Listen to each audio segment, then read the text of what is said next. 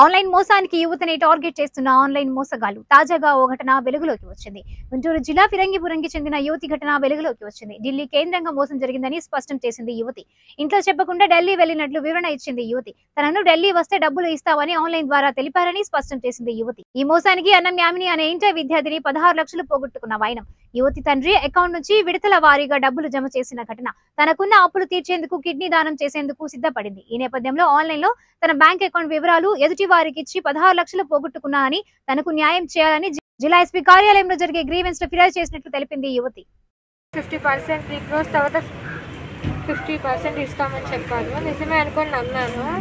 ఒక online account create చేసి three crores వేశారు నిజమే అనుకొని అవి నా అకౌంట్కి ట్రాన్స్ఫర్ అవ్వడానికి ఇట్లా ట్యాక్సెస్కి పోలీస్ వెరిఫికేషన్ సర్టిఫికేట్ లాయర్ నోటీస్కి అని చెప్పి మొత్తం సిక్స్టీన్ ల్యాక్స్ పే చేశాను ఎందుకు కిడ్నీ అమ్మాలనుకున్నాను? నార్మల్ మనీ ప్రాబ్లం అందుకే ఎలా? ఎందుకు మనీ ప్రాబ్లం ఎలా? డాడీ అకౌంట్ తెలియకుండా మనీ యూజ్ చేసుకున్నాను నా పర్సనల్కి సో అవి రికవర్ చేద్దామని వేరే వాళ్ళు ఇట్లా డొనేట్ చేస్తే మనీ వస్తాయని చెప్పారు.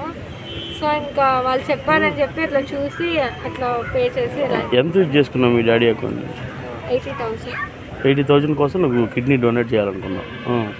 ఎలా నేను వాళ్ళు ఎలా మోసం చేశారు?